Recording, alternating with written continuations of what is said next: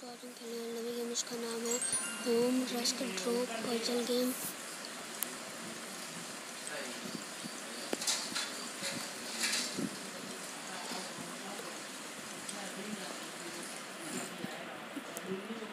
Level eight